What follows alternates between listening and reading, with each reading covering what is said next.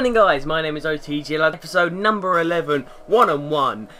Episode 11 here at Budapest, Hungary for the Hungarian Hungarian Grand Prix. Yes, we've caught up with Real Formula 1 and here we go now. So, we have signed for Toro Rosso. Bianchi thought the best career move would be him signing for the Toro Rosso team. We all knew it was going to happen. It was the team he wanted to be at. And the big thing is, look at that bottom right hand corner. A full red bar occurs, but he could only get 17th. It was a very, very competitive qualifying session. I mean, everyone from I think about 8th to 17th were very close to each other. And it was a great performance by uh, by everyone. But Bianchi couldn't seem to get faster than anyone. And he has a good start there, just breaking into uh, the back of Senna, who done very well in qualifying, actually getting himself in a good position. But now he's going to go up the inside of Hulkenberg, who tries to squeeze him out wide. He just breaks a little bit later than Hulkenberg, gets around the outside of him, and the outside of Massa now. He makes it sick, and there's a uh, three cars going through the rest. I think it's a McLaren, Mercedes, and a Sauber now. Kamui Kobayashi is ahead of him. He's used some of his KERS. Oh, he loves that KERS, and now he's going to nudge him in the backside as Kamui Kobayashi gets four, all four wheels off the track. And then he's trying to go around the outside of Button, but that leaves a gap for Sergio Perez just to lean through. And Bianchi has lost a position, but he breaks a little bit later going into the chicane. He then gets the undercut, and then he nudges Perez, has to take a compromised line. And now they're side by side going into the second sector. He gets a little bit of back end wheel spin, but he holds it together, and Jules has got himself sixth position there. But then, on lap six, all disaster, he's held him up so well, and now he's been down in ninth, where the three Saubers and Lotus cars that were a lot faster than him were just unbelievably just so lucky to keep to get that position because Bianchi made a silly mistake. Going on to lap 8 now.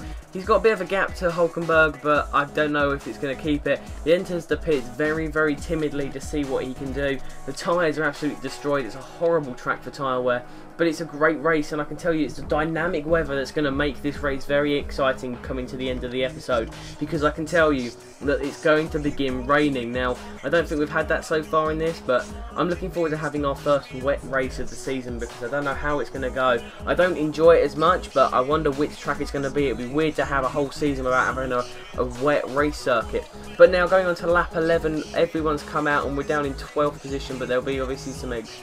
We're down in 12th position, but there's Hulkenberg trying to up the inside. Can Hulkenberg get the undercut, but he can't, but that leaves Sebastian Vettel through. Once again, Bianchi and Vettel are having another battle, and it's just one of them things. But as always, they always slip and slide, and there's Paul Resta and something's happened to Vettel and then once again the same area Bianchi gets a little bit wide gets a wheel spin and has made a silly mistake letting the cars through so now he's down in 15th position. And there we see lap 17. The rain's down and, and Jules just loses the rear end, letting Stilly and Petrov through. So obviously something weird's going on here with this wet weather. But it seems the Caterham boys are doing a fantastic job to keep their car on the track and there was a guy um, a guy on the track who had one of the worst races of his career. I'm, I'm not lying, this driver is absolutely going to be absolutely really annoyed with himself. Here we go, a car coming up to be lapped, and I believe it might be a lap for the second time. I don't remember. I think I might have done it for the second time. But as we see here, he's just got horrible, horrible tyre wear. And there it is, it's Pastor Maldonado, and he just reverses straight onto the track, holding up people behind me.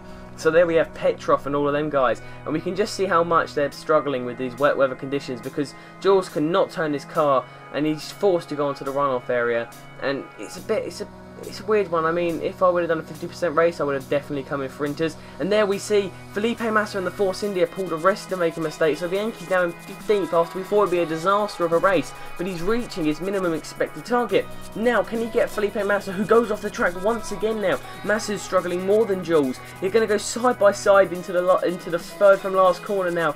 This is an amazing little battle going on between these two drivers. Side by side, can Jules get the manoeuvre done? Massa slips behind him, but he gets some terrible terrible understeer and some horrible the wheels just cannot stick to the the uh, ground now. We're just going through the corner and here we go just getting some back end wheel spin. He's trying his hardest to keep the car on, on the straight and narrow. He's low on fuel and I believe Jules Bianchi's going to come across the line in his first race for Toro Rosso. He's pleased with himself because he come from the, the bottom the bottom half of the grid now. Jules is down Uh, sorry, it was in 14th position after this race. A great job by Jules, and he's done a fantastic job in his first race for his brand new team. And there we go, 14th position. Petrov doing a great job there, and let's have a look. So Carter Kyan finished behind Sebastian Vettel, who was down, down I believe it was 16th or 17th. Horrible race for him.